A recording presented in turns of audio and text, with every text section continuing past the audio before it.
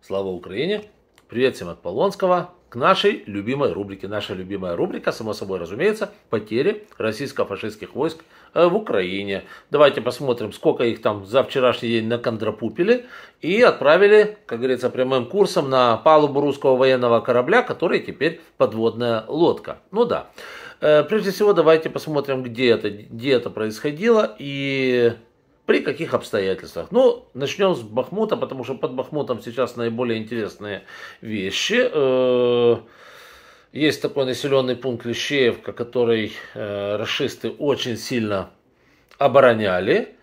Ну, я не могу сейчас что-то там конкретно говорить, но я вам скажу одно. В Клещеевке у них все пошло не так, и все произошло не так, как они хотели, а с точностью до наоборот. Потери они там понесли до и больше – да. Э, также наши продолжают отрабатывать район вокруг Солидара. Увидите, а Солидар будет освобожден точно так же, как и Бахмут. То есть, когда туда приходили расисты, они думали, что это вот мы тут навсегда, мы тут уже останемся. Ну, очень скоро они, они уже понимают, что это не так. Потому что в Солидаре они в том же самом, да, ни одного дня спокойно не сидели. Их там контрапупили с утра до вечера, а потом с вечера до утра. И и там у них все плохо. Э, также у них все абсолютно отвратительно под угледаром. Помните, как они а, бойко, бойко на угледар наступали, там больше 100 единиц техники за один день ложили, было дело, да? Вот, кстати, часть этой техники перешла на сторону добра, на сторону Украины.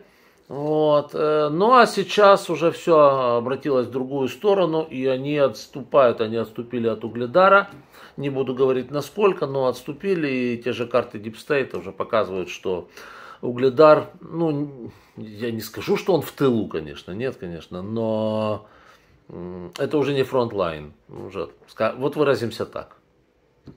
Наши отодвинули их и отодвинули капитально. Э, продолжается наступление на Запорожском фронте. Э, там у расистов э, все плохо под Работино, больше сказать не могу. Также Старомайорская, то же самое, они его пытались отбить, но все пошло не так, как они хотели, и, собственно говоря, потери несли там. Также они пытаются снова атаковать Подсватово, провели там ротацию, привезли много пушечного мяса, Э, ну, мясо, как ходит в атаку, так в основном и остается на, на поле в виде уже, сами понимаете, чего, чему дико и несказанно рады наши червяки, лисы, койоты, шакалы и так далее. Э, койоты это уже не у нас, но неважно. Все равно все рады, да. За вчерашний день у Кондрапуплина 620 путирастов – и общее количество путиноидов, которые остались в Украине, пришли сюда с оружием, но э, ну, что-то пошло не так, составляет 247 850 голов. Не слабо тогда. За вчерашний день было отправлено в металлолом 7 путинских танков. Так за один день только... Это при всем при том, что они в лучшем случае штук, не знаю, штук 15-20 в состоянии возобновить в месяц танков. Это не новые танки. Это новые они вообще там делают по две, по три штуки в месяц. А вот эти вот. Т-55, Т-62, ну то, что у них там на складах вот горы металлолома, там их горы. Вот. Ну вот они их пытаются каким-то образом там возобновлять, но речь идет о десятках танков, а они в месяц теряют сотни. То есть у них вот так вот вниз идет это кривая количество танков боеспособных. Ну а на складах-то их 100-500 миллионов, а толку? Это металлолом. Да, всего 4224. Такая же точно картина с броневиками. Ну, правда, там есть поновее у них, но их тоже почти все сожгли. 21 штука за вчерашний день набили. Это много, это выше среднего. Всего 8234 путинских броневика крякнулось. Дальше. 26 а, пушек и артиллерийских установок САУ уничтожено за вчерашний день. Это реально много. 4892 штуки всего. И 4 установки РСЗО, то есть ракетных систем залпового огня. Э, всего 704 штуки. Также было уничтожено два средства ПВО. Всего 465. Интересно, когда они потянут, я думаю, что еще несколько прилетов по Москве э, беспилотников. И они потянут с фронта, потому что на фронте что там, пушечное мясо, им наплевать, сколько их погибнет. Я имею в виду Путина и его комарилью, да.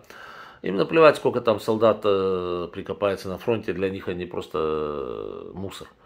Вот. И, а вот обитатели Москва-Сити, у которых там очень много денег, вот те люди, те, конечно, люди, и тех надо защищать, тем паче там же, говорят, путинские дочки живут. Ну, наверное, уже вывезли их оттуда, но тем не менее. Вот. Так что я думаю, что скоро очень э, у них будет нарисуется еще одна проблема. Они все средства ПВО перетянут под Москву, защищать Рублевку, защищать вот это вот Москва-Сити. А на фронте у них будут дыры, потому что а где им брать новые средства ПВО? Их-то в лучшие годы они могли производить там поштучно. А сейчас, сами понимаете. Э, самолеты, значит так, два средства ПВО всего 465, самолеты вертолета остались предыдущее значение 315, 311. Также уничтожено было 35, это вчерашний день, беспилотников различных типов, там много шахедов было, всего 4077. Э, также вчера был урожайный день на э, авто, автотехнику, то бишь было уничтожено 23 грузовика и автоцистерны, всего 7, 7372, э, и 3 единицы спецтехники. Это командно-штаб Депункт, это рэбы всяческие и так далее. Очень дорогие вещи стоимостью десятки миллионов долларов. И самое главное, очень тяжелое в производстве, долго производить. Такая же ситуация, как и с э, э системами ПВО. Всего 721 штука. Наши, если брать в общем и целом, наши продолжают наступление.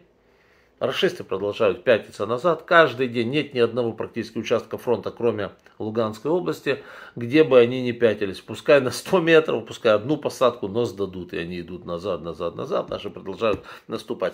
Так что Подождем немножечко.